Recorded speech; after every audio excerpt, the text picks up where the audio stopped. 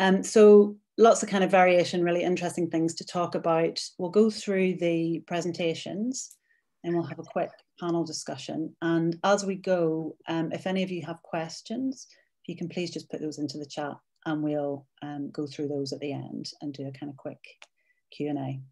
Okay, so if we get going and um, Paul. Brilliant, thanks very much. Um, Lucy, I'll just share my screen and if you could give me a quick nod to make sure that's went through okay, I'll get started. Yeah, all good. Brilliant. Okay, so yes, brilliant to be here. So thanks very much for inviting me along to this. And um, I've got just 10 minutes or so. I'm delighted to see some familiar faces uh, in the audience. And uh, they'll pretty much know that it's near impossible for me to meet a, a, time deadline, but I'll try my best to sort of stick to the 10 minutes as, as, as much as I can. So, as Lucy said, um, yes, my name is Paul Best. I am Program Director for Social Work at Queen's University. I'm a qualified cognitive behavioral therapist, and I lead the Immersive Technologies and Digital Mental Health Network within the School of Social Sciences, Education and Social Work. And uh, in a previous life, I do have a, a degree within the, the film school at, uh, at Queen's um, so um, I like to think I've got a, uh, I suppose, an interest and a nice perspective across a number of different uh, sort of areas and fields. Though primarily my focus now is on health and social care and mental health uh, research. So this is pretty much this is a quick presentation. Okay, there's there's not the time really to go into sufficient depth uh, this on this field, this fascinating and emerging uh, field and this technology that, that sort of just exploded onto the scene in the last few years. So what I want to do is give a snapshot of how virtual reality and immersive 360 video in particular, uh, how this content can be used or, or potentially used uh, to support the treatment uh, of mental health issues and, and, and conditions. And, I, am particularly thinking about uh, you sort of within routine clinical care and within routine clinical uh, settings. So your day-to-day access and sort of treatment of, of mental health conditions. Uh, and as we go through the presentation, I'll try and show some early proof of concept work. So we're at the beginning of our, of our journey where we're just starting to create content and develop materials. And uh, I'll share some of our thinking around that. Now, one of the things that I really want to get across in this talk, um, because there is a growing and emerging evidence around the, the, the use of virtual reality to treat mental health conditions, where I think there's potential and where we need to get a bit better is how we make this technology as cost effective as possible so it gets to as many people as possible it gets as many, many people as possible okay? And that's really where a lot of my focus is. It's on using this content but also being mindful of the cost implications uh, of it. And i'll hopefully pick up on that a bit as, I, as i go through the next uh, few minutes of the talk. So immersive technology uh, field is new and innovative, but it's been around for you know a, a, long time. You know, 60, 70 years. People have been experimenting with this type of technology. But what's tended to have happened is that very recently, probably in the, the last five years, uh, we're seeing real advancements in um, sort of the hardware. Um, and there's now like multiple different sort of headsets available at quite reasonable prices. And we're not even at the point where the headsets don't even need to be tethered uh, to high powered sort of gaming PC units. Um, we've got standalone um, headsets such as the, the Oculus Quest that still allow six degrees of freedom. And I think the most recent Oculus Quest uh, 2 has came out there a few weeks ago, uh, priced at around £300. So uh, we're seeing advancements in the technology uh, and, and, and, the quality and how it, uh, I suppose, um, it makes a better all-round immersive experience. But we're also seeing the price point coming down, uh, which makes it, um, I suppose, more applicable uh, to the things that I want to use it for. Makes it more relevant uh, to, to, the work that I'm interested in. So cost is a is a big factor uh, in this world. You know the how virtual reality and how immersive technology can be used to support mental health um, is a long sort of talk in itself. I think there's books devoted to this issue, but I'm just going to pick up on three things that are particularly important for me in the work I'm interested in.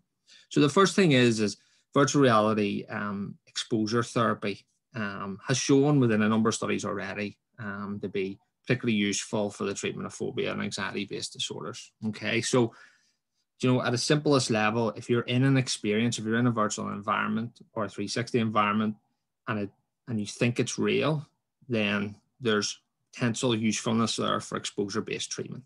Okay. The second um, part of where it might be useful is actually this technology, and I'm thinking particularly my role as program director for social work, is that the technology can help us to develop more nuanced and sophisticated approaches to the training of mental health practitioners.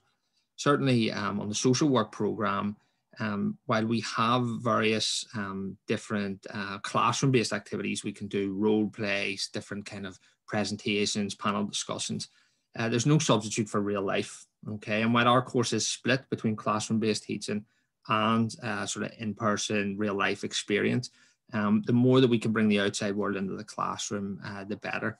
Plus, we also need to develop certain scenarios in which students can experiment with failure and feel what it's like uh, to fail. And there's there's um there's real opportunities here to develop scenarios in which we can immerse the student. And again, it goes back to this idea: if you if you think it's real, okay, then it's a better learning experience, or certainly that's our hypothesis, because we want to challenge you to make decisions when you are sort of feeling it emotionally, when you feel intimidated in the scene, or there's a lot of stuff going on.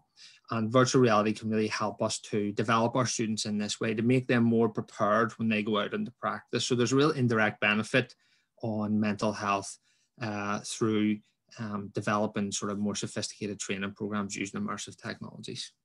And the last one is that one of the kind of inherent features, if you like, of virtual reality um, technology in particular is this the, the idea that we can customize it um, and we can also create environments that might be difficult to sort of recreate in real life or visit in real life. This is particularly important when we discuss disorders such as post-traumatic stress, um, particularly because there's such a bespoke element to it.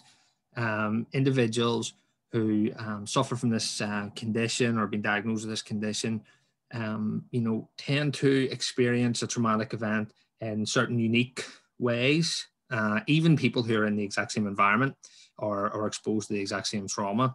And therefore, we need that level of customization in order to make that uh, that that scenario kind of fit as best and and, and uh, really help us unlock treatment for those individuals.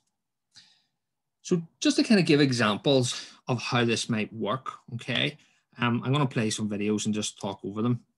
So this is just a screen grab from a commercial uh, virtual reality experience called uh, Richie's Plank. So some of you who have, uh, you know, used uh, virtual reality, um, you know, platforms or be regular will, will know of this or have heard of this experience, okay? And it's uh, very much set up as like a party uh, game and where you have to walk out of this lift and walk across this this plank. And um, it costs about 14 pound and for those of you who've put the headset on, you know, the visuals are very good and there's great use of audio to really immerse you in this environment. Now, as someone who doesn't have a fear of heights, I found this incredibly difficult to do the first uh, couple of times.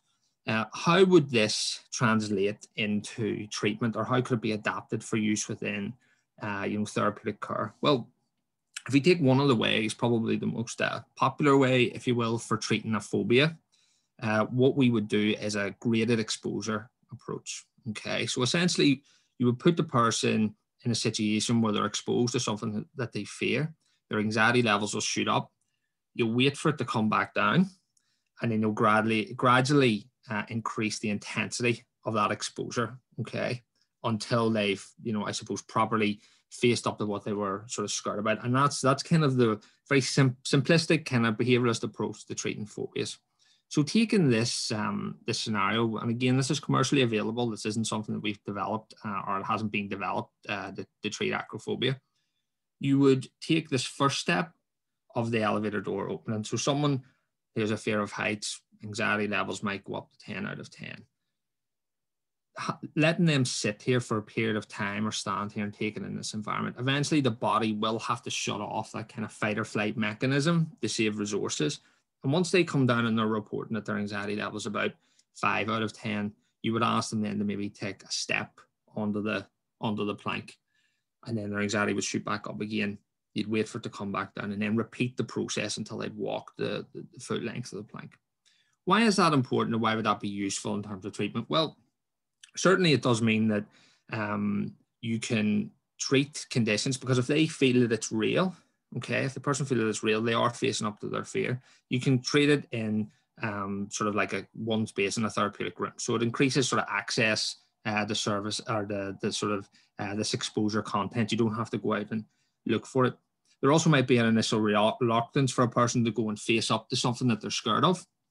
And therefore, virtual reality is perhaps an easier way of getting people to agree to do. And what you might also find is this is quite an intense, exaggerated example of um, you know you would never put someone in a situation in real life but you might find that when someone conquers this that they might be um, actually have very little issues with going up a, a, a lift or maybe going to um, like a shopping mall and going up the tiers because they've managed to con- conquer such an extreme example.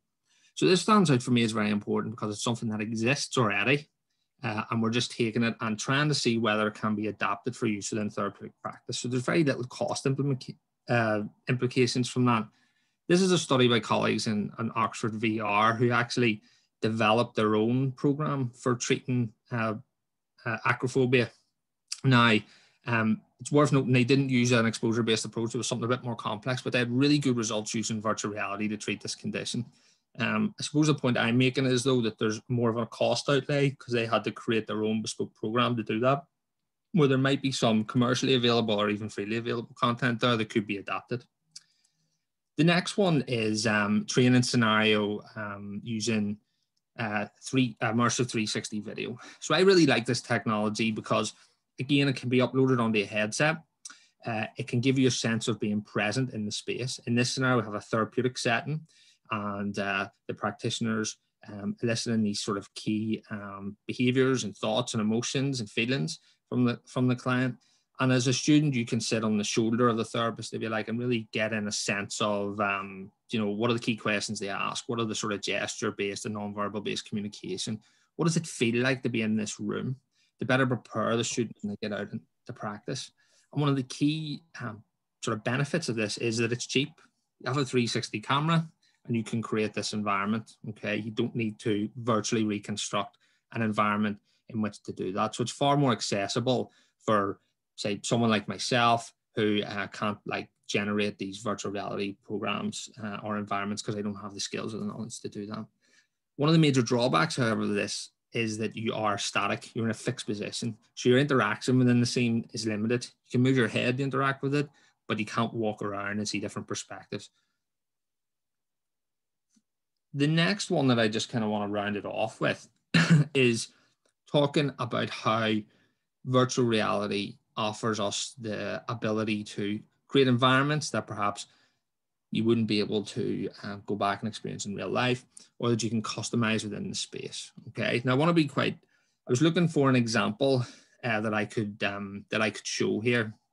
Um, and they are quite expensive to sort of build. So i've asked the company that we work with to do a quick mock-up for us to, to give an example this isn't something that we're using necessarily but just to give an example of how it might work so we took an, an incident from Northern Ireland's past of the the Shankill bomb. Now I want to be sensitive about this because this is a, a, a, something that happened well near 30 years ago. The impact of that is still is still felt today.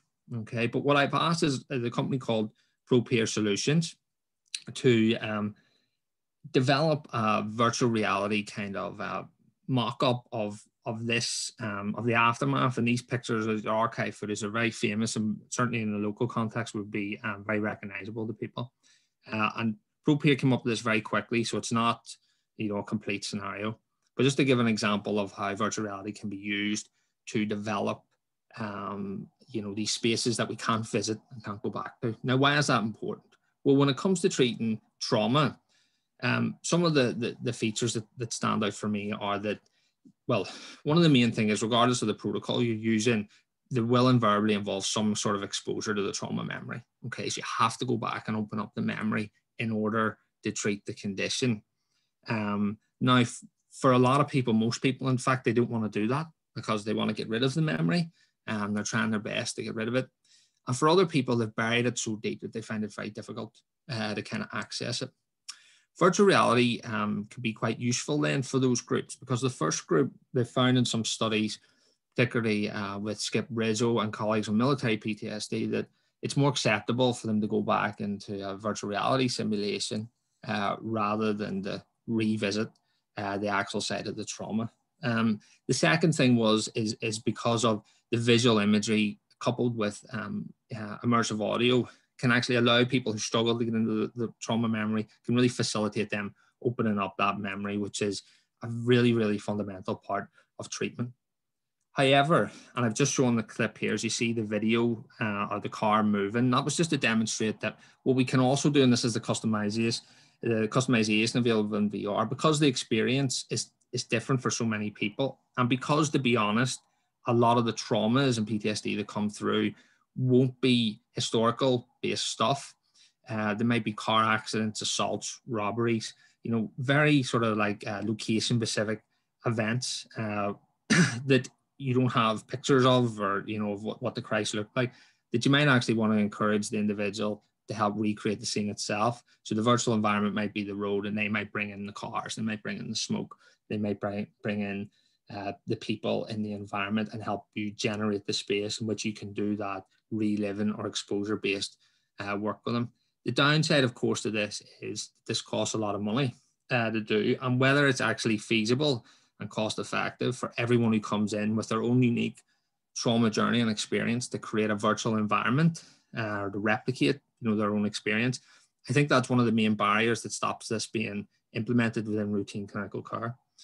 And just to finish it off then what we're trying to do and what some of our proof of concept work is how can we get the both best of both worlds how can we um, take the real images provided through 360 video or just 360 imagery and then combine it with the customization and the interactive qualities of virtual reality um, to create something that's interactive but is also low cost.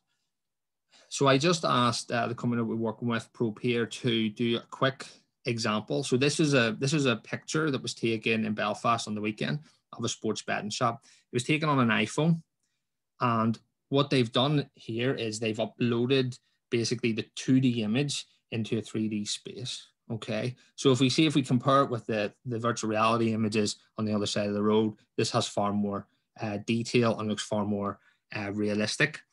Um, so we get the benefits of those real images, but we get the interactive uh, quality that comes with the 3D environment. Um, and we think that this might be a really interesting sort of combination of technologies that might be very uh, useful when it comes to therapy, particularly uh, for some disorders that are a bit more complex and require a more uh, bespoke and nuanced approach. So that's me, Lucy. I hope I haven't taken over too much time. Um, that's great, lovely. Thank you very much, Paul. We're a bit over, but I think we've got we've got a bit of flexibility with time. That was brilliant, very very interesting. Thank you, um, Sarah. Uh, if you want to go up next. Sure thing. Cool. Hi there, everyone. Let me just um, get my screen up and running. Um, here we go. Can you see this all right? Cool. The si by the silence, uh, I'm going to assume yes. Oh, good. Uh, wonderful. Um, so hi, everyone. Uh, my name is Sarah Ticho. Uh, I uh, wear quite a few hats, I guess. So I'm a bit of a cheerleader, I guess, when it comes to the world of uh, VR and mental health, um, and, and I guess healthcare more broadly. Uh, so I'm the founder of uh, my own organisation, Hatsumi, which means to see something for the first time. And, and I'll talk here a bit about um, what we're doing in terms of looking at how people can visualize lived experience of um, pain and emotion using 3D drawing and VR, uh, as well as uh, my other work on Explore Deep, which is a, a breath controlled uh, VR experience. Um, and then alongside that, also, um, I'm very enthusiastic about how we can, I guess, get everyone working together and really thinking about um, what the future of VR in healthcare could, could look like. Um, so as a little bit more background, I had did not expect at all to end up working in, in VR and health. Um, I, when I was younger at university, I studied anthropology um, and then uh, worked very briefly in the NHS um, before uh, end up moving into the contemporary arts. And so um, it was around uh, this time in 2013 that um, my dad passed away. Uh, in fact, eight years ago today, in fact, which is strange to think how much time has actually passed.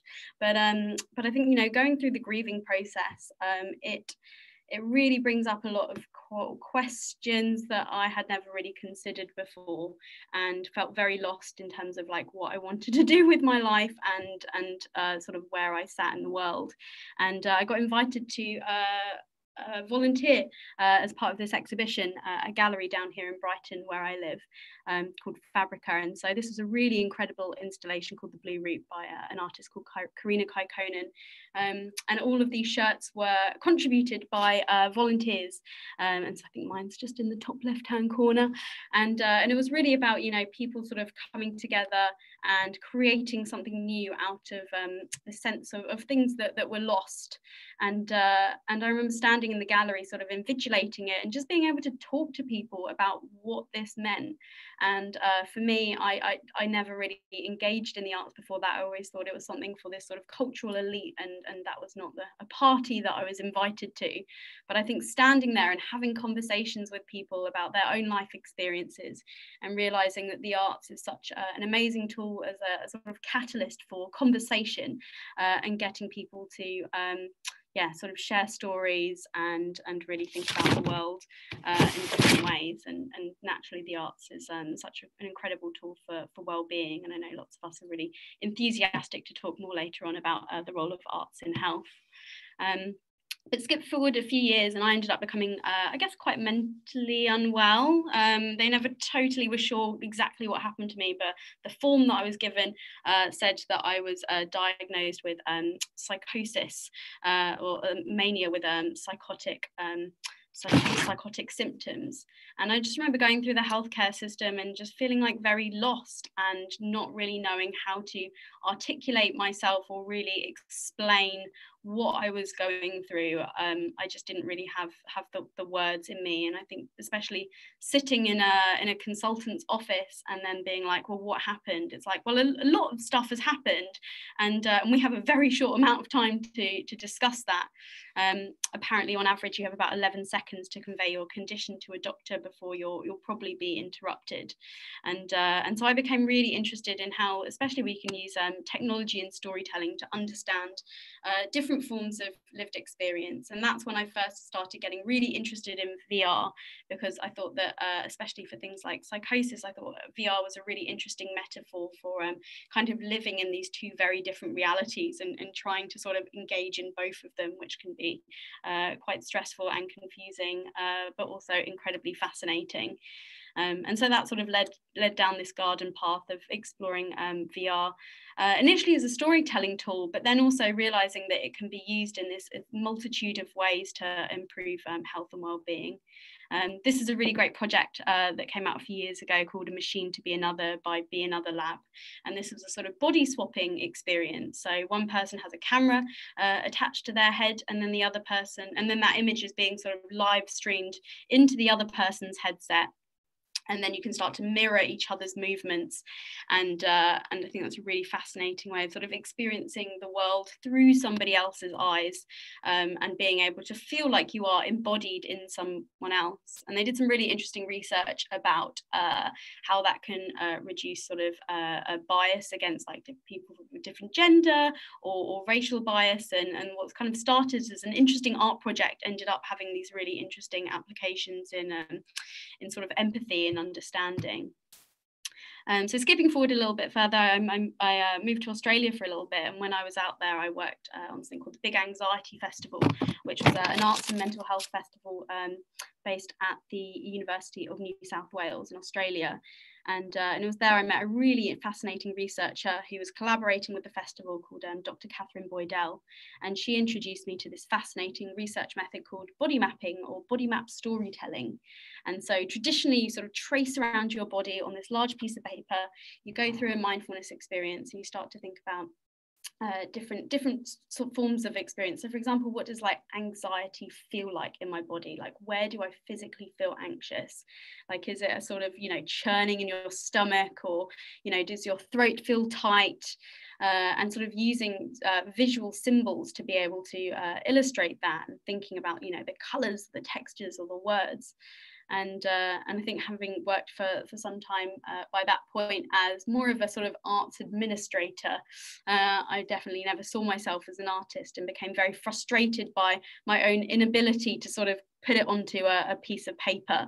And so I guess this was uh, the birth of, um, of Hatsumi. Uh, I was thinking, you know, how could we connect this with virtual reality? I was really fascinated by uh, existing 3D drawing experiences like Tilt Brush uh, made by Google, uh, which is a sort of 3D drawing experience. And, uh, and so over the last few years, um, initially applying for this as a PhD and then ended up kind of developing into an art project, company, research project, whatever I am now. Uh, been working with, with people with lived experience, specifically of chronic pain for now, but I want to expand it more into other conditions to, uh, to develop this sort of virtual reality tool um, that enables people to uh, visualize uh, the embodied experience of both pain and emotion uh, using sort of 3D drawing. So, uh, so here are some some uh, sort of uh, images that, that we've created so far. So I've been creating all these different 3D drawing tools. Uh, so you can draw both in, uh, inside the body, out on the skin and outside the body as well. Um, and so we've been testing this in um, different sort of clinical settings, uh, thinking about like patients being able to do this in, for example, waiting rooms. Uh, so they can create their illustration and then take that into the consultation room and, uh, and show their clinician how they're feeling. And, uh, and I think what, what I'm very enthusiastic about this is that it, it's enabling people to realize that, that medical conditions and, and mental health experiences and emotions um, aren't distinct, like they, they come together and ultimately influence each other. And uh, we found that it's really enabled people to have a bit more of a holistic discussion about, you know, what's going on in their lives, like why are they feeling so anxious, like how is that that that experience of chronic pain, um, and really influencing it as well. And so we've been applying this as a tool to uh, improve that patient doctor communication, um, but also how you can uh, share that with other family members as well that may not understand because, you know, all these experiences are sort of invisible, right? And it, again, it's very difficult to, um, to articulate that.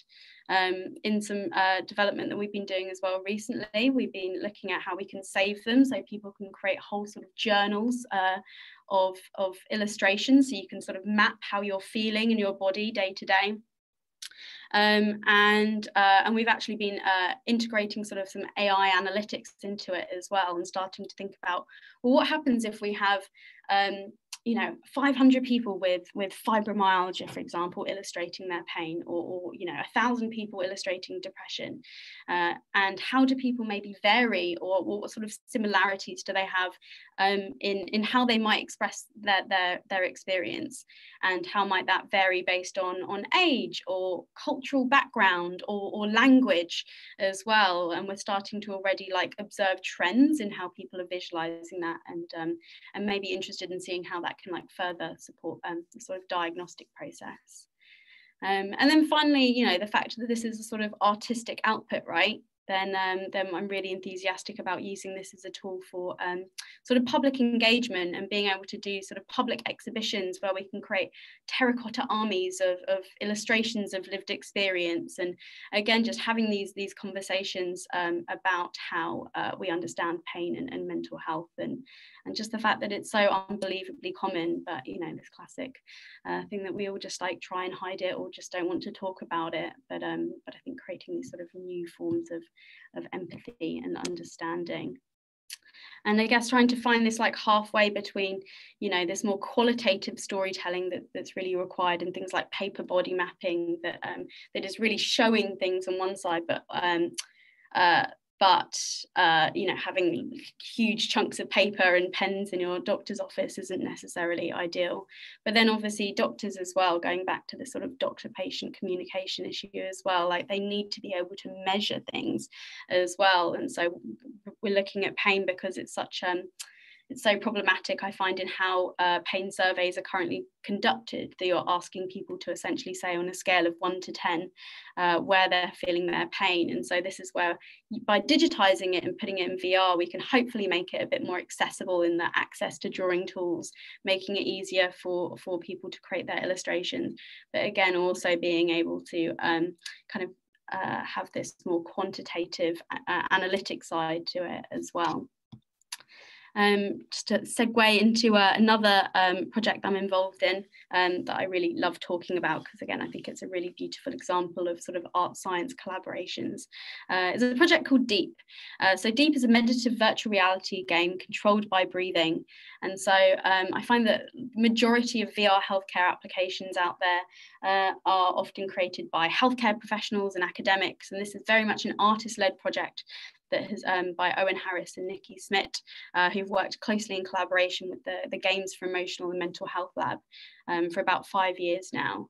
And so this is a really beautiful experience that, um, that I really enjoy being a producer on, where um, you have um, you move through this beautiful underwater world sort of controlled by your breathing and so you see your breath visualized in front of you as this sort of circle that moves in and out but also the world is responding um, to your breath as well and um, and so you can kind of see here one sort of part of it of an example of how the world is is responding to your breath.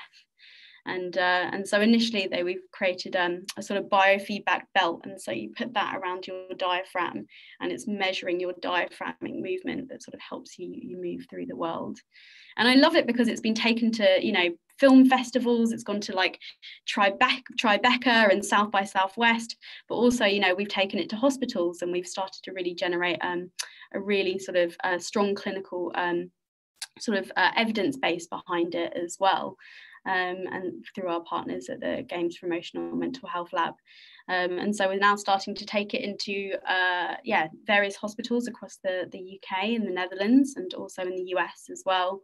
Um, and we've also got a permanent installation at the Nemo Science Museum in the Netherlands. So this is uh, an example of it just in the top left uh, as well. And so with that, we've made a sort of uh, non-VR version where you sit in this chair and, uh, and it's got the belt around you. And it's been fun seeing people sort of playfully hack the experience.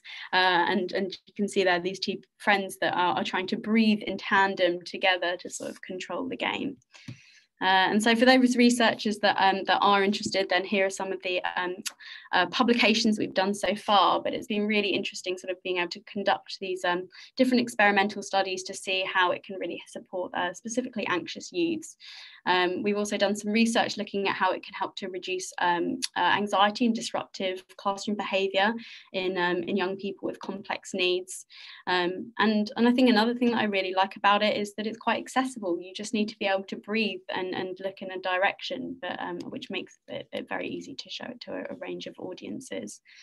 Um, and, and again, I'm really excited by its uh, ability to be applied to uh, a variety of conditions, uh, kind of in the same way of, as Hatsumi as well, that it's uh, things like mindfulness, I guess, are, are useful in, in, a variety of contexts. So um, we are now uh, doing some research with um, a centre in the US looking at how it can support people with um, young people with post-traumatic stress disorder. Um, and we've been working with a hospital in Vienna as well, looking at how it can be used in uh, lung rehabilitation. And we're um, kind of looking at how it can help people uh, in the recovery from COVID as well. Um, and then I guess just to sort of summarize and look at the, the, the, bigger picture of, of why I'm so enthusiastic about VR and health, those are the two projects that I guess I'm like deeply involved in the sort of development and research of. But um, but in my other role, then roles, whatever they are now, then um, then looking about like how does all of this connect? Because when I was first looking at uh, starting Hatsumi, then I was looking at um, speaking to other like VR healthcare founders and being like, what what does this mean? How does everyone work together? And and I think for a long time it's been very fragmented and and through these conversations it's been really interesting to see like the huge variety of ways that, that vr is used in healthcare.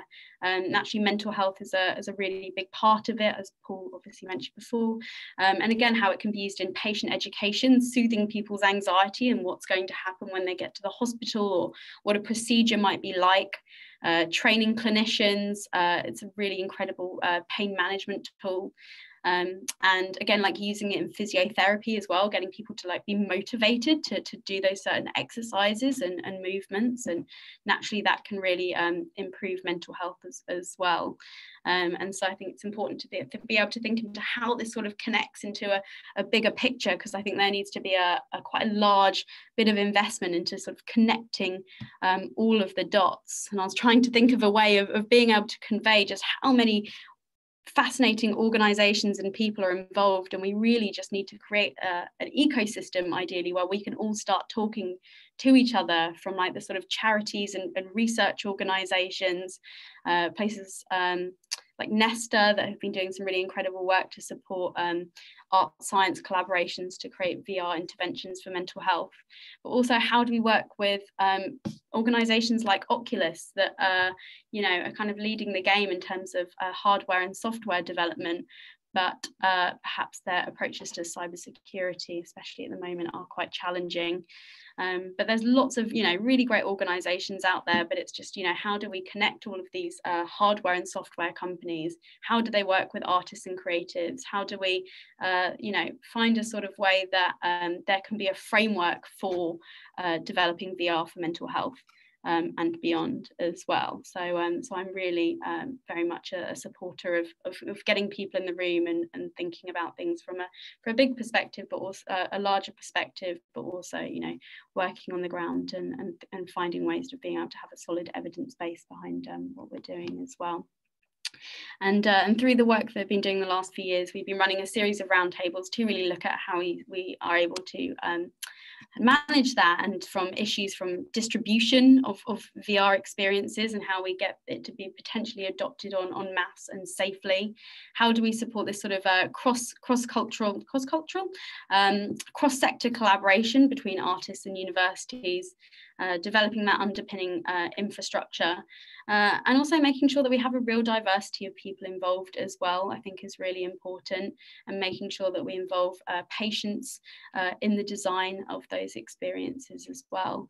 Um, this image in the top left uh, is uh, of uh, a really incredible woman called Kay Smith, who um, is currently in palliative care and has been using VR to um, manage her pain and, and has, has been a real sort of yeah voice for involving patients in the development of VR experiences.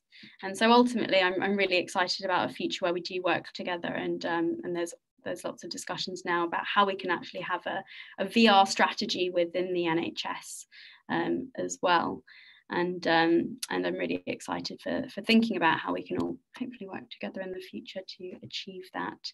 Um, so I have I've not gone on for too long. Um, thank you so much for um, letting me share a little bit about my interests and what I've been up to. And um, yeah, feel free to reach out if you have any questions. Thank you. Lovely. Thank you so much, Sarah. That was wonderful. Um, so, Hanna, we can hear from you next. Yes. Um, great to hear uh, about your work, Sarah, in more detail. And um, I'm going to come in here at the very different uh, end in a sense because I'm very much early on in a project where uh, I'm coming from an artistic background and seeing how I can uh, develop some of and taking my skills from the uh, world of theatre and performance into uh, this world of arts and health and immersive uh, work. So uh, as Lucy said, I'm currently doing a, a practice-based PhD at Queen's um, and I'm looking to in the area of immersive audio for people living with Parkinson's. And my project is in development with uh, people with Parkinson's, uh, a, a, bit uh, challenged at the moment during uh, COVID, but we're getting there. Um, um, so as I said, I've got 20 years uh, of experience, uh, 20 plus actually, working as a, a dramaturg, um, developing professional productions with writers, actors, directors, and choreographers for live performance. And now I'm trying to look at how to translate those skills into a digital and immersive um, world. So the uh, some of the projects, and I'll, I'll uh, return to them in a second, uh, I've been working with previously was with immersive audio. Um, and I've seen how uh, what an incredible visceral impact just the audio uh, have on an audience. Uh, another inspiration to my project was to see the amazing impact for uh, people with Parkinson's of the whole Dance for Parkinson's project. Uh, because I suppose uh, Parkinson's is not a mental health area. It's sort of the what I'm looking at is the uh, physical connection uh, between our minds and bodies. So, and um, how how can we through artistic ways enhance that.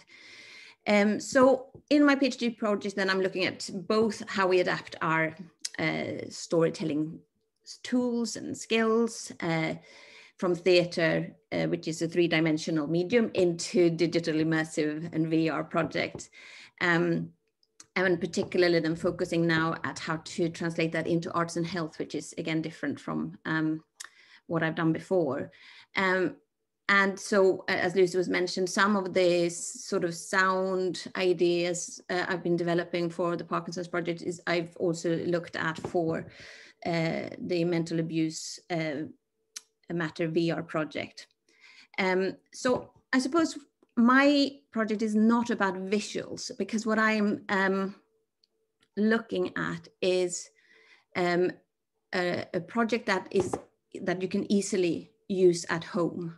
So when we talk about, um, or might talk about social prescription later, I'm sort of hoping that this can be something that is very easily um, uh, picked up on in your own time and because you want to not necessarily as a um, a sort of a treatment routine, but it has uh, the, the underlying ideas is about uh, building skills and rehabilitation. Um, uh, the um, in most story-based immersive experiences, um, the participants are invited to inhabit someone else's body and world. However, when I've been working with um, this project, it becomes clear that as in arts and health, you as a participant, you, you step into an uh, the experience as yourself. So I think that puts a very different onus on us who are creating them uh, about how we how we shape that immersive experience to support a sense of subjective and embodied self. So I'm going to share with you um, now my um, um, presentation here.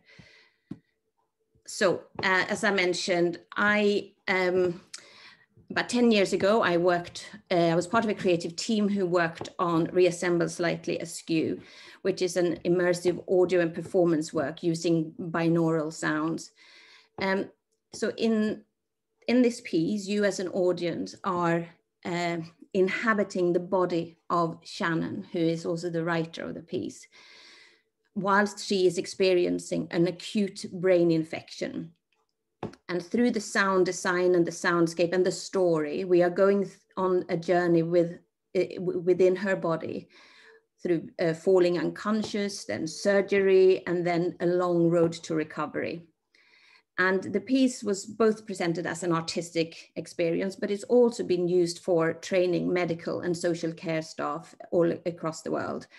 Um, and it's, a truly immersive three-dimensional experience which affected a lot of audiences really deeply.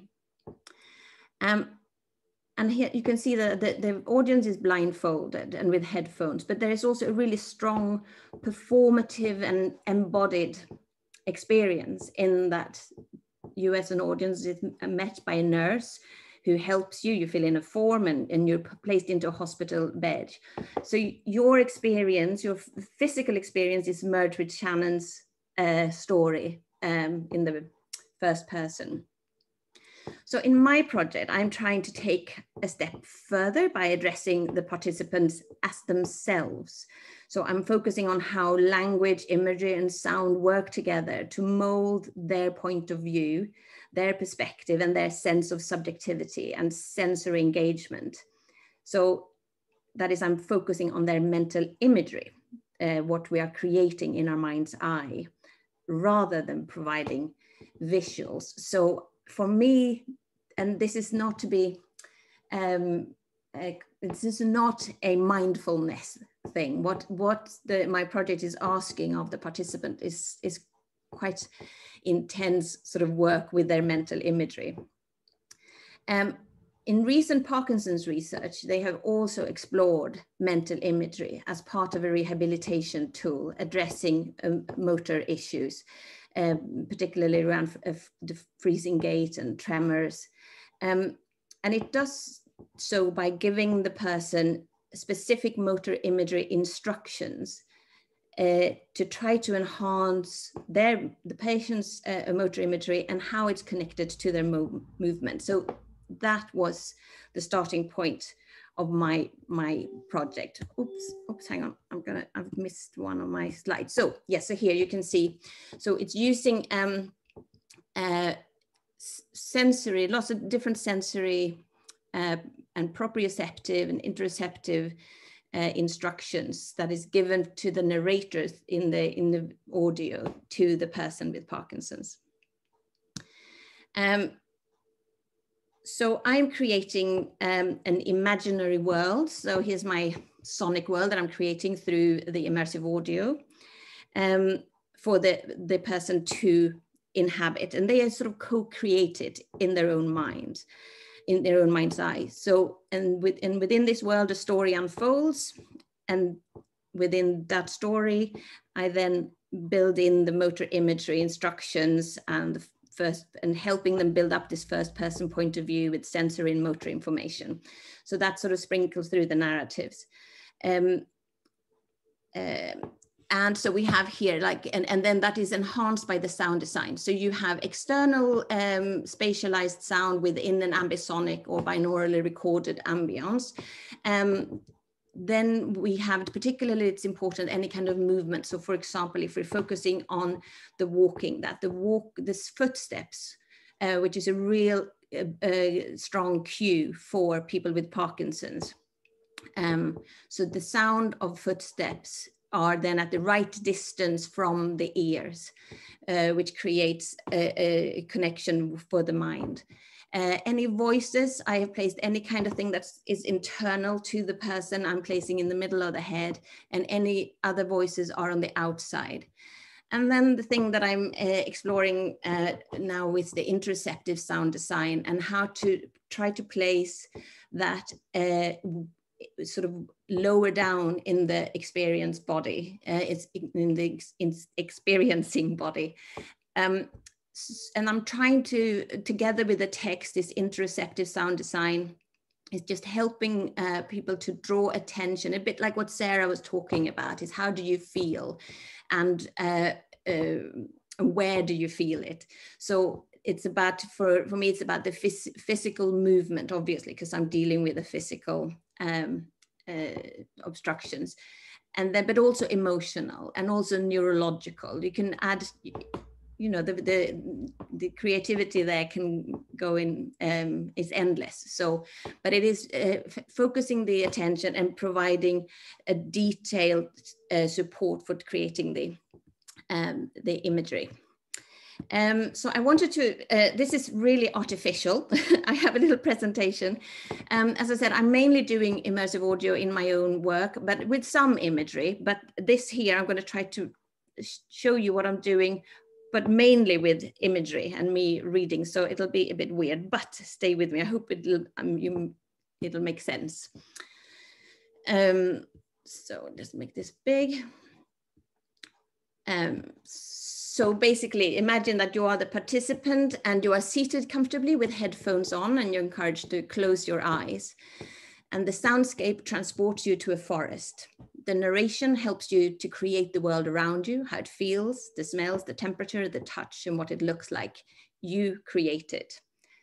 You hear footsteps as if they're from your own body, as if you're walking through a forest. And the description then helps you to imagine that you're walking along a path in a forest towards a lake. You feel the autumn chill in the air it nips the tip of your nose on the way down into your lungs where it enters every little elastic alveoli sac and you can feel the chest expand.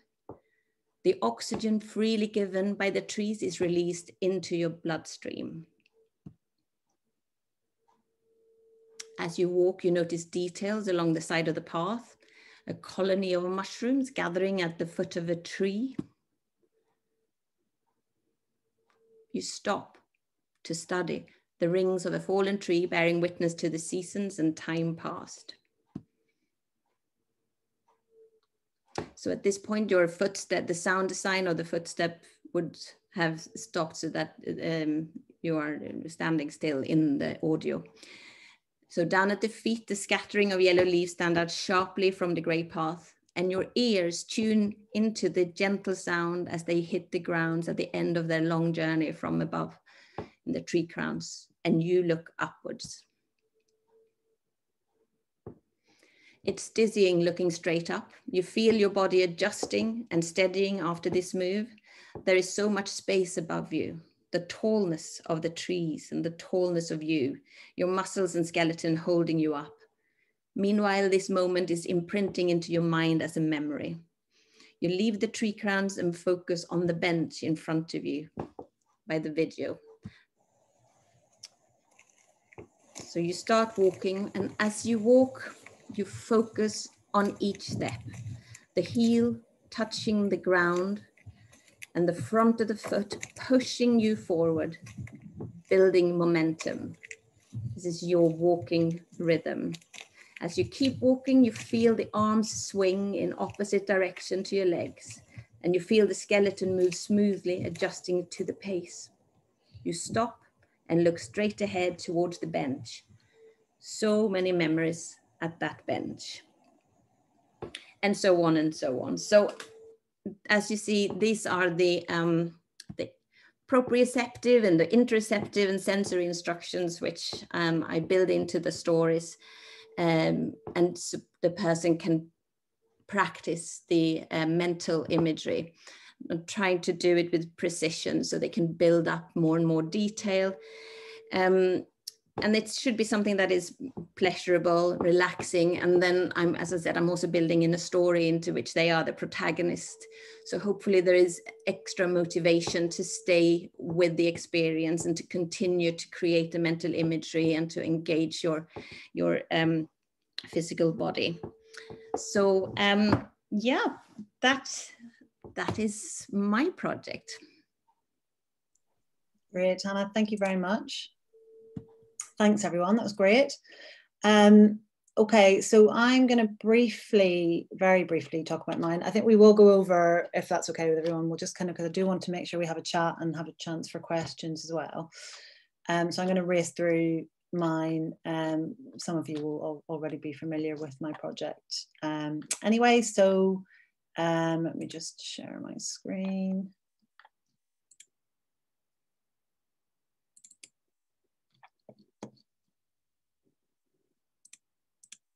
Okay, can everybody see that?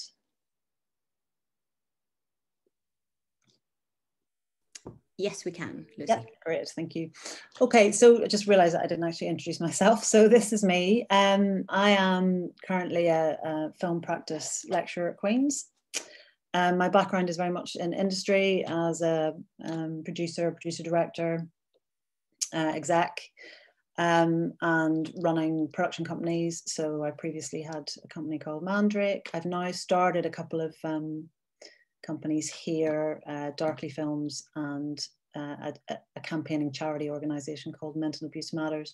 And those two um, entities are kind of doing a, a co-production project, which is my virtual reality project, um, which then ties into uh, my PhD. So um, that is a, a, practice PhD in the Film Studies Department at Queen's.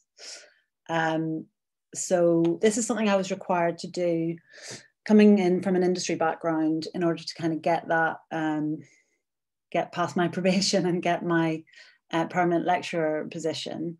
So, I mean, it's great for me. It's a great opportunity for me to do um, something really interesting and innovative. And so, um, I had a really good think about what I what I wanted to do for my PhD. Um, and uh, so this one that I'm doing is, is, is a collaboration with, with Hanna, who you've just heard from um, at SARC, also kind of feeding into psychology and, and social work.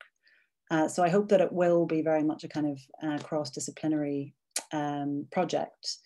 Um, so it originated from um, a charity that the charity that I established and a kind of awareness raising campaign for which I produced an animated film. I'll show you a very quick clip um, of that.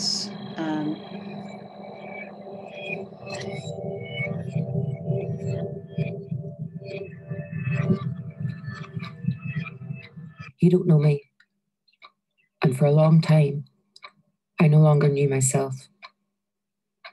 constantly questioning, unsure about decisions, a sick feeling in my belly, feeling guilty for no reason. I don't know if the audio was on with that or not, but anyway, that gives you an idea of that was an animated film with anonymous first person testimony of an emotionally abusive intimate relationship. Um, so from that um, came the idea that for my PhD, I would develop this further in an area that I was really fascinated by, which is um, cinematic VR. So live action VR as opposed to using animation.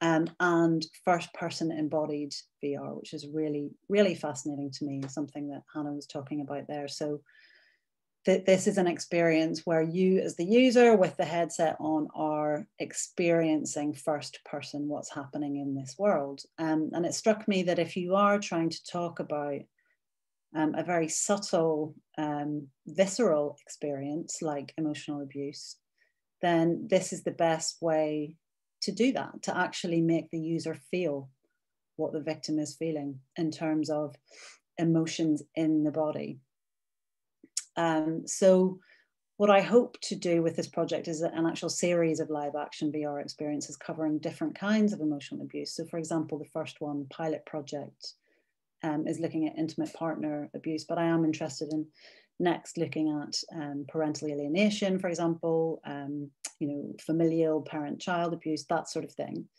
Um, uh, really because it's something that I think, um, as both Sarah and Paul were talking about, it's difficult to articulate. It's difficult for people who are experiencing it to, to, to, articulate. So my goal was really to try and get the visceral experience across in, um, in a very vivid kind of way.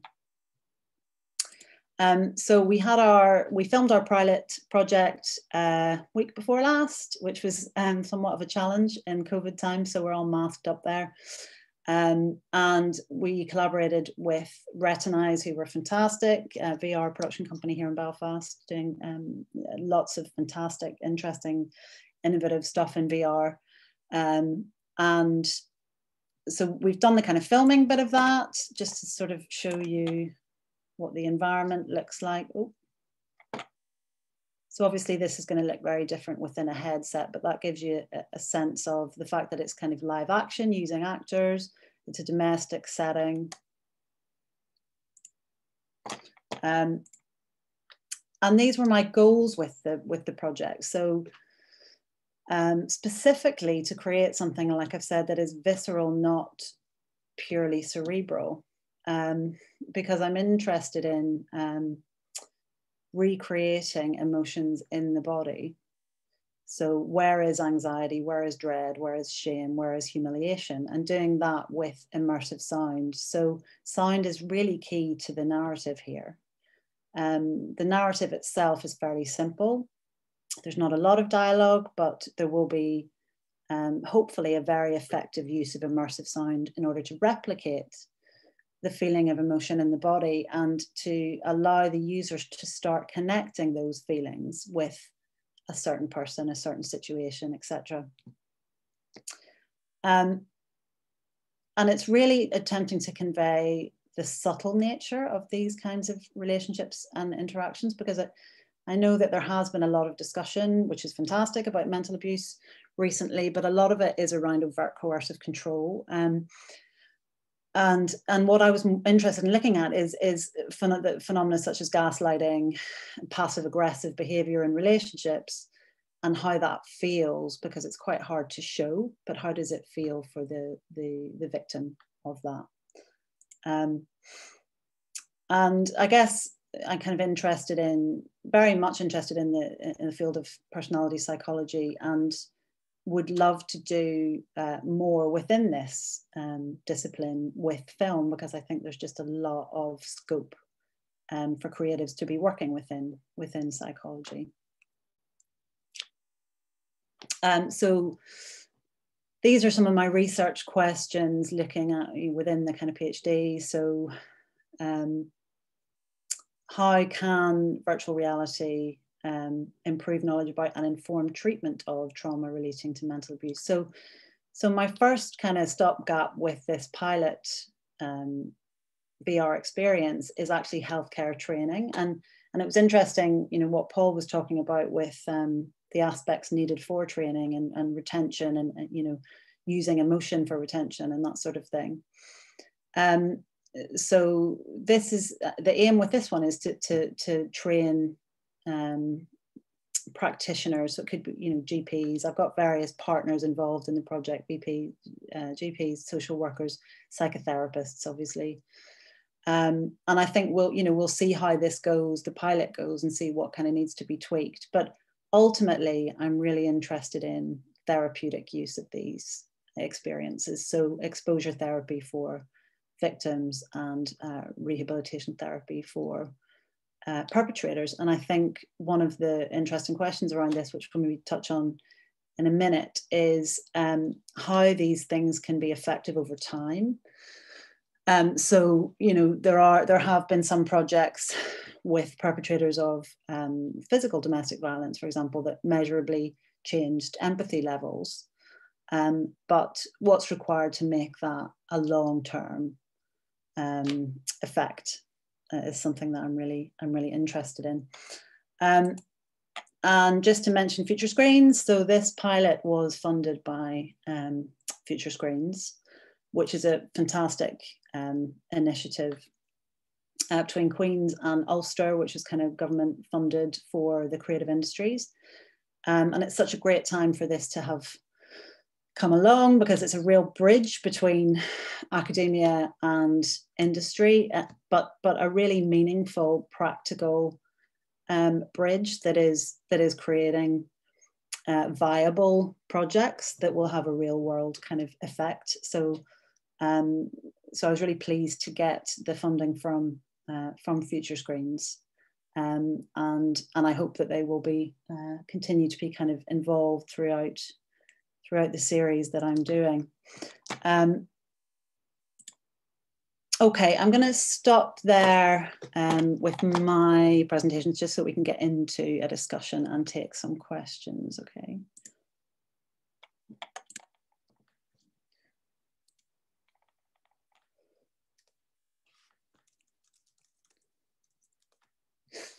So um, I guess there's a lot that we can kind of talk about here, but if we start with thinking about the intersection of the arts and health, um, and just the, the, the, it's a very broad um, thing that's happening at the moment. I mean, there's lots and lots of different disciplines getting involved, but I'm interested in, in some you know specific aspects of it i suppose um, and then we, we can just keep talking um, so paul you were mentioning in, in a kind of training context um, the uh, making people feel emotion while they're going through your training experience. And is that for you linked to the retention of of the, the learning Yeah, definitely. Uh, definitely that, that that's part of it. Um, and also retentive learning, but also getting them um, to feel that the, the learning is, is meaningful. One of the, the main things for us, though, is actually that it's very difficult within a sterile classroom environment um, to um, really get students to uh, make uh, decisions under the same conditions as they would uh, have to in, in practice. Um, so it's quite easy to make a decision when you're in a classroom environment and there's no pressure uh, on you. And real life just doesn't work like that. Um, so that's a, a, project that myself and Hanna were involved in. Was really um, that was one of the core objectives. Was can we create an immersive experience where students are put under pressure and asked to make decisions? Uh, and I think that's where part of the emotional uh, aspect of it uh, comes into because you want to feel emotionally invested uh, in the scene and what's going on. Um, and we want to bring out your sort of values and, and, and empathy within that situation. But we also want to see whether that impacts your decision making, uh, particularly your professional decision making. And that can go two ways. It can be uh, feeling pressured uh, by an our scenario, a parent to make the decision they want uh, in order to calm the situation down. Or maybe that you, you relate um, a bit too much or overemphasize with the person that you're trying to help and therefore you make uh, decisions, you um, maybe go a bit that uh, extra step further. And I don't mean that we shouldn't do that for the people we work with, but I mean that some people then get more favorable outcomes than others um, because you feel more attached to them, which isn't right either in terms of creating a sort of consistency uh, amongst the sort of your own decision making and the services provided. So yes, emotion and trying to generate emotion plays a plays a key role for all those um, all those reasons. Yeah. Um, and um, Hanna and Sarah, I'm just thinking also about one of the most important aspects um, of the partnership with arts and health, apart from the kind of visual aspects of it and the creative aspect, is the narrative aspect. So stories, story development. Um, could you both talk a little bit about about that? Sarah, first, yeah. Uh, Sure. Well, I guess yeah. There, there's there's kind of two different ways of being able to approach it. Right. It, it's telling stories that can help people, you know, develop their own understanding of the world, or or that's like very top down. But I, yeah, I'm I'm really enthusiastic about helping people find ways of telling their own stories. And i think that's what's really interesting and exciting about vr is that you can have these sort of classic narrative approaches but or you can involve things like game design. And you know i guess with the work that i've been doing with hatsumi it's it's more of a participatory tool of looking at like visual storytelling. And again with like what hanna's doing with integrating sound as well. And and i think being able to kind of think about your own story in a very different way and being able to go to these different places and perhaps think about how you can reframe them um, in different ways um, as well.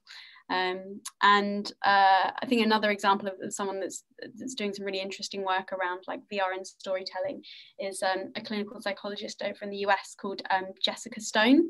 And so she created um, an experience called virtual sand tray. So if anyone's familiar with those sort of sand tray based um, approaches, it's almost like a form of play therapy. And she developed it sort of uh, post um, uh, the big tsunami in Japan of realizing there were lots of traumatized kids that needed different forms of, of therapy and through digitizing it they could actually bring it to people. And so you can create these whole like immersive worlds where um, kids can sort of create these sort of vis- visual landscapes as a way of, of talking about their experience. Wow.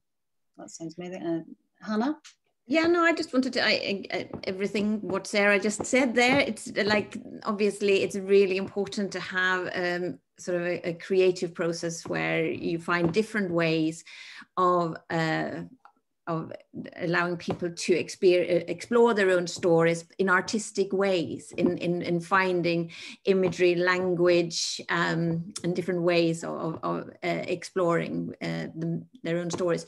But another area that I'm really interested in, because a lot of this we have done in theatre for forever. And there's so much skill and experience but the, but there is a tweak. There is a tweak in how we use the skills that we have and the experiences from other three-dimensional and very closely interactive mediums. So i am that's why i'm really fascinated by how do we also bring in artists into this field? How do we um, sort of be able to harness all their experience and skill and ideas and creativity as well as allowing um, uh, sort of people to explore and find their own creativity within a, a situation where they are uh, sort of dealing with something really massive in their own lives. And, and what has been your experience of kind of developing, you know, because it was interesting for us to develop that the narrative within Mental Abuse Matters. Um, you know, what have you had much experience of developing narratives with medical professionals yet, or is that something you will be trying to do? Is that to me or yes? Um, yes. Uh, well, in Reassemble Slightly Askew, we uh, we sort of had a an iterative consultation period uh, or, or, several iterations with uh, the um, uh, surgeons, with the um, rehabilitation staff, with the social care staff uh, in around brain uh, damage. So that was one place, uh, obviously, which into the project. The other thing with that project was that we as a creative team had to take a decision really early on. We were asked the question by the Wellcome Trust, was the uh, funder, about the balance between artistic focus and um, an educational focus. And we were sitting there, and it was halfway through a process, and we were all going, our instincts say we really want to do this artistically, but we understand that funders have their uh, issues. But we we sort of stayed with our gut instinct, and we we pushed through in a um, uh, uh, with our artistic focus. And then we developed the educational package uh, around it on the side. But to be honest, I think it was a completely right decision to take because then going back to all those medical professionals with the final uh, uh, sort of performance they were absolutely blown away and and they said that it really impacted on how they operated near patients uh, with brain damage uh, after that. And and that's priceless. But we you know we we stayed with our skills and our ambitions and vision which was artistic. Yeah it's, it's, an interesting kind of tension there isn't it to see um that, that's a, that's an interesting example of it. Um I would ask uh, the other two, but actually we've got to, I'm going to race through on to because we've got so much to kind of cover. I wanted to talk to all of you, hear from all of you about social prescribing. So um, you've all kind of mentioned it, um, but would you just briefly talk about you know your thoughts on it and how it kind of applies to to your work? So if we go to to Paul and then Sarah and then Hanna. Um, yeah, no problem. I would just uh, note there, there is a question or two in the, the chat. Um, Lucy, one of them I'll just answer. There was a question around uh, about making VR accessible to people with disabilities. And uh, we're aware of any projects and stuff that's going on. So, um, locally, I know that um, Sentireal um, have um, designed some VR experiences um, for ASD populations and also and that, that would be most of where my knowledge would be at the moment i also know there's a company called um, new red who have developed a vr classroom with nicola booth who is our director of our applied behavioral analysis program uh, at queens um, looking at um, the use of a virtual classroom uh, to help children with uh, asd uh, you know, ad- adapt um, and learn new skills within within that environment. And I also have a PhD student who's going to be looking at a social anxiety and social skills based training um, for ASD populations. There's also some work currently um, being discussed, and I'll probably start in the new year with ourselves and colleagues over in Aberystwyth um, University um, that are going to look at um, safeguarding around older vulnerable people um, and use of VR and will probably branch out into dementia, uh, I would think.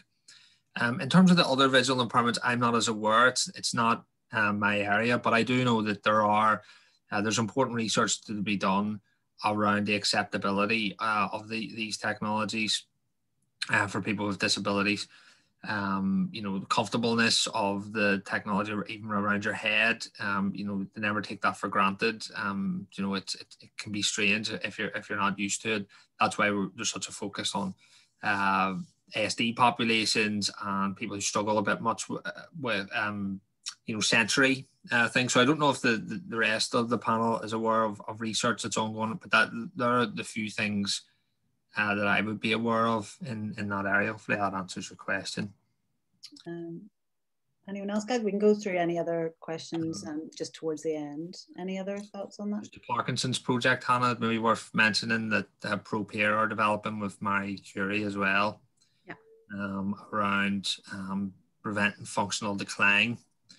And I know Tracey McConnell is here and is involved in, in, in that in that project. Okay, thank you. Um, so, um, Paul, if you could let us know um, what, in your experience, is being done with um, with social prescribing at the moment. Um, yeah, well, certainly um, nothing that I'm aware of in relation to, the to VR um, and stuff. But I, you know, I'm happy to be uh, corrected and uh, directed to um, stuff that stuff that is happening. I think social prescribing is um, I wouldn't say it's a it's a new a new concept, but it's certainly one that's getting a bit more traction. I think, which is great. Um, and that sort of um, that concept of trying trying alternative approaches uh, to, to medicine uh, or the, the medication, I think is something we need to explore uh, in more detail. One of the barriers in this area will be access to this sort of hardware, but there are, you know, there is an ability to, to turn your phone into a, you know, a very cheap VR viewer. Although some of the conversations I have been, um, I've been, I've been having with some of our local companies were saying that certainly I think Samsung have are starting to move away um, from from that or putting support or, and are focusing uh, on different types of technologies. I could I could be wrong on that, um, so I'm not too sure of the exact state of play for that. But I think one of the big barriers to social prescribing in this field is going to be how do we get the technology in everyone's hand. We're certainly buoyed by the fact that uh, headsets are getting cheaper. I mean, the Oculus Go headset, which was the first kind of portable one, the price of that is dramatically reduced now. I think you can get that for about 120, 130 pound, whether GP surgeries would loan them out as part of a social prescribing uh, would be interesting. But there's also other ways that it can be used to social prescribing. I mean, traditionally, like physical activity, I mean, as well being looked at and researched in the social prescribing field um, helping people engage more with nature, as we, we spoke just before uh, the talk, might be interesting. And I wonder, could that be supplemented through the use of virtual reality? I'm thinking of some of the immersive 360 videos, some of the imagery that you'd, you'd shown Hanna, um, you know, as a way of helping people who perhaps can't get out into those nature-based environments and bringing nature in, into the home. Uh, but certainly, it's a it's an area, particularly in mental health, uh, and certainly there's been some work by Gavin Davidson and colleagues regarding using the creative arts and, and, and arts as a, as a form of therapy within the mental health. And I think we really need to be exploring uh, the, those approaches because that medical model, um, you know, we, we need additional options. And I think, um, you know, some of the things that Sarah was chatting about are, are, are, very important and, and we need, need, need different and new ways and innovative ways of, of addressing these issues, you know. Um, Sarah, I know you have been working with the so the Mozilla platform the, the, that's kind of multi-use with different headsets and that sort of thing. So um, yeah, can you just talk a bit more about your social prescribing from from your end? Um, yeah, well, I guess like with the, the way that we've been developing Hatsumi, then we're taking a slightly different approach in how we're creating it. So um, so when referencing Mozilla, I guess we're, we're really interested in, in web VR, so virtual reality that's available via the web, just because uh, I'm acutely aware that uh, organizations like Oculus are very risk adverse when it comes to any sort of VR experience that is making some sort of healthcare claims, because that essentially turns them into a medical device. Uh, but obviously, it's one of the most accessible headsets out there. So we're doing like virtual reality that's available via the web, uh, which means that it can sort of be hardware agnostic and can be accessed on a variety of devices, including the Oculus Quest, uh, without actually having to publish via them or kind of deal with things like SideQuest, if anyone's familiar with that, which is kind of being able to side load same things. Um, but in terms of how I'm really interested in how VR can be applied to social prescribing, um, I guess it's just, it's, I think it's important to make this distinction between like VR that's like a mental health intervention that's like, you know, we are prescribing this to you that's going to like make you better somehow uh, dealing with whatever, whatever you're dealing with and things that are just like really great for your well-being, right? And uh, going to the theatre, great for your well-being, like singing, also excellent, but you don't necessarily need a medical prescription for that. And, uh, and I think it's, um, becoming a bit of a grey area in, in VR mental health that you can kind of argue both in some things. Um, but I think being able to uh, create experiences that that can be helpful for maintaining your your well-being that um, that yeah aren't necessarily interventions are really important. And even in lockdown, I think like uh, I, I, feel like I, I, felt like a bit of a fraud before that. I was like talking so much about how much I love VR, but then like hardly ever used it. And then lockdown happened, and I've just been having like the best time, like hanging out with people that I work with and friends, like in virtual reality, being able to have like social, like multiplayer experiences where we're playing games together and kind of giving your friend a hug from afar when you haven't seen anyone in like three months and i think it's like things like that that we don't need to like overthink or overproduce but are things that are, are just really vital to our sort of needs as humans. Um, again like being in real nature is, is already always preferable but when you're stuck in a hospital because you're deeply unwell like to be able to go into an experience where you're taken to you know a beautiful forest uh, or if you're elderly and, and you know can't can't go out then then those sort of experiences and being able to share that with other people um, I think it's extraordinarily valuable. Hanna?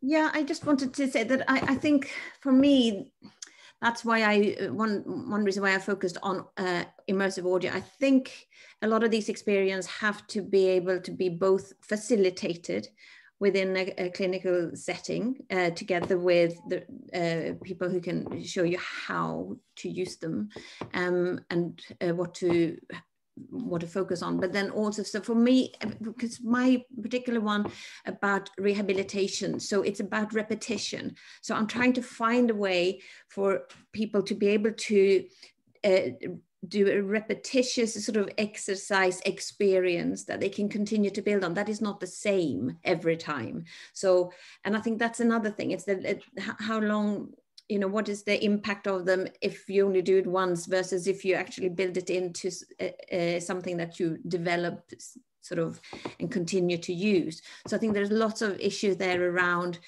um, uh, sort of the, the technology and making it as easy as possible to revisit um, and making it part of your uh, world as well as having that kind of clinical interaction and in around it as well. Yeah so that kind of kind of leads into relationships with healthcare doesn't it? Because I, I mean i'm interested in as well to think about how these more on the kind of intervention side of things. So if you are using my experience therapeutically for example um, you know the research around uh, how much how often and for what period that would need to be used um, uh, is, is, something i'm really interested in, in looking at. And i think to address a lot of these things, we do need a formal, ongoing relationship um, with healthcare, don't we, as as arts practitioners? Um, and not only at kind of development stage so you know looking at incubators and accelerators for ideas for prototypes um, and, and there are lots emerging and, and quite a few out there like future screens like, like i've mentioned but there are a lot of kind of creative tech incubator, incubators out there. Um, but also all the way through to um, the kind of rollout and distribution of, of, of products into healthcare um, do any of you have any thoughts, Sarah? I know you're working um, with Immerse UK on kind of establishing relationships. So, what's the kind of current state of play of the relationships between creative practitioners and healthcare in terms of distribution channels and, and incubators and that sort of thing?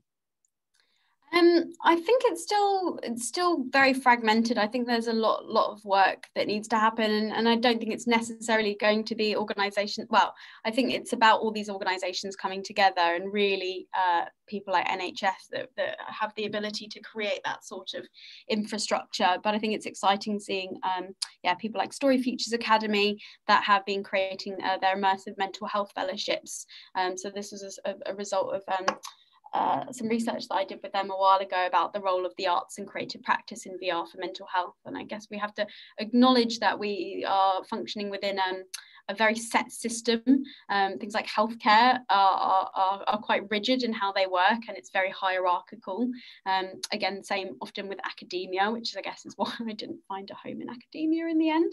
Um, and it's just like, I guess, finding ways to be able to create opportunities for that collaboration in the first place. And, and um, and I think it's still often like very very top down you know when you apply for funding then it's it's got to be led by an academic or a healthcare professional. You've got to have that sort of clinical PI but even like how it works with sort of those agreements within like how how, how does the artist benefit from this or what is their contribution?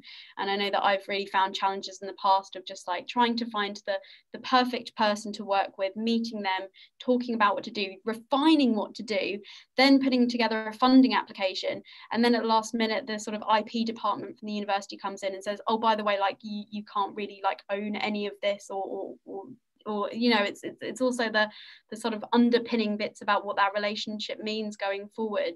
And so that's how this um, program with story future started was if startup has an idea and wants to be able to clinically validate it, then we will match you with a psychologist from Royal Holloway and you can design it together. You know exactly what you're in for. You write one application and then you can work together and continue to work together as well. And I think it's it's just starting with like how, how you even find those people to work with, but also what that looks like going forward. Um, because also we're looking at, you know, what's the difference between creating a, a research project that you want to publish on uh, or you know being a startup where perhaps you want to like find a way of creating a, a sort of sustainable um, product i guess. And there's just yeah there's a lot to consider but i think it's really important to think about um, sustainability of this and and how and when artists are brought in and realizing that they're not the person that just makes it pretty and shiny at the last minute but really embedding them in the experience and and having that um, you know sort of ownership and feeling like they have a, a significant role in the development. Okay thank you. I know you've got to rush off um, sarah so um, thank you very much for your contribution. Oh, thanks for having me. Thank you. Um, we yeah we are kind of running over by quite a bit so we will sort of finish up but just to ask um, the other two you know what are your thoughts on the relationships the existing relationships or how that might be facilitated a bit more um, yeah, I, I, mean, what Sarah was saying is is um, it's interesting. That's a lot of the reason why I started the network. Um, I mean, the academic, I suppose, side of that is that we can't create any of um, these products without input from um, from other people. I mean, the skills and the knowledge just doesn't exist uh, within our school uh, to, to do this. Um, so we have to reach out and and one of the great things then about collaboration is about this exposure to new ideas and new ways of working and developing a more transdisciplinary approach um, to the way we work where you learn as you go. Um, it's not that you bring people in uh, to do bits of work and then they leave, but it's very much a collaborative process where they kind of teach you a bit about their process and then you understand uh, through that engagement um, so that the next time when you collaborate, things go a bit smoother because you have a good appreciation of, of what's going on. But as of said, it, it, is, it is fragmented, um, but there's a lot of good opportunities locally. Future Screens NI is a great example um, of bringing uh, sort of industry and academia together, uh, and it's industry led. Uh, so tend to be the kind of minor uh, partner, and, I mean that for more the sense of the onus is on the, the company to, to go and, and, and lead that uh, application where for researchers there definitely is more of the, the, the, academic lead and the companies kind of tagged on. What, what we felt was that, and certainly for our experiences, it was very transactional relationship that we would have had with external companies. you know, um, we have an idea for a product uh, that we want developed, whatever that might be, an app, a website, and we'll kind of sort of this is how much money it is, and uh, and then that's where the relationship goes and the tension kind of arisen when you wanted to change it or modify it because well that costs more money and I think there's probably fault on both sides there and our sides because we just assume that there's flexibility or because we don't know the field so we can't future plan exactly what we need and things need to develop. Uh, so we always felt that it was it was just about the plus there's like a there's a there's a reason that we're doing there's a meaning behind it you know it's for good and uh, our companies are very much you're hiring us to do a job. So I, I like the way it's evolving now, um, where it's more of a collaborative process, uh, where companies will come in preferably at the start um, and take a bit of ownership and work from the ground up and develop something together, whereby we're conscious of their needs and how they need to develop some, you know, uh, products for the commercial world. Uh, but they're also sensitive to what we need and that our, you know, our um, not that we move the goalposts, but our, our needs might shift depending on new research that's emerging uh, that we might or new ideas that we might have about the best ways of doing things. So yeah, yeah getting better. Um, okay. Um, Hanna, just your final thoughts. I don't think anybody, if anybody has any final questions, do put them in the chat before we finish up.